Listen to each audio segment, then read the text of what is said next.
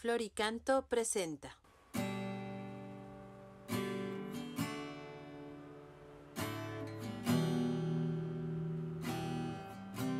Escuchemos el Evangelio de San Juan en el capítulo 6, versos del 44 al 51. En aquel tiempo Jesús dijo a los judíos, Nadie puede venir a mí si no lo atrae el Padre que me ha enviado, y a ese yo lo resucitaré el último día. Está escrito en los profetas, todos serán discípulos de Dios. Todo aquel que escucha al Padre y aprende de él, se acerca a mí. No es que alguien haya visto al Padre, fuera de aquel que procede de Dios, ese se ha visto al Padre. Yo les aseguro, el que cree en mí, tiene vida eterna. Yo soy el pan de la vida. Sus padres comieron el maná en el desierto y sin embargo murieron. Este es el pan que ha bajado del cielo para que quien lo coma no muera. Yo soy el pan vivo que ha bajado del cielo. El que coma de este pan vivirá para siempre, y el pan que yo les voy a dar es mi carne, para que el mundo tenga vida. Palabra del Señor. Mis queridos hermanos, para tener vida entonces está claro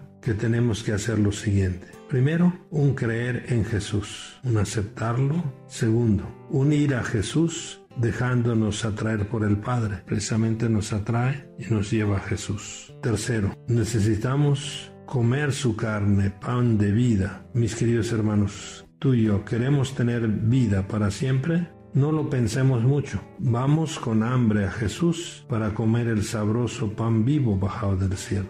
Alimentémonos de ese pan. Quien lo come tendrá vida. Y además nosotros daremos vida al mundo. No olvidemos que es un alimento para que el mundo tenga vida. Por lo tanto, quien se alimenta de Jesús tiene que ser vida para el mundo, porque la salvación es para todos. Tenemos que ser vida para el mundo con nuestro testimonio, porque quien se alimenta de Jesús tiene que imitar a Jesús que pasó por este mundo haciendo el bien. Como nos decía el cardenal Bantuan, que la única Eucaristía de la que se alimentan los que no conocen a Jesús es la Eucaristía de nuestra vida, de nuestro testimonio. Y recordemos lo que nos dice Jesús. Yo soy el pan de la vida, que con nuestra vida proclamemos, quédate Señor con nosotros. ¿Cómo? Alimentándonos de Él y dando vida al mundo. Bendiciones.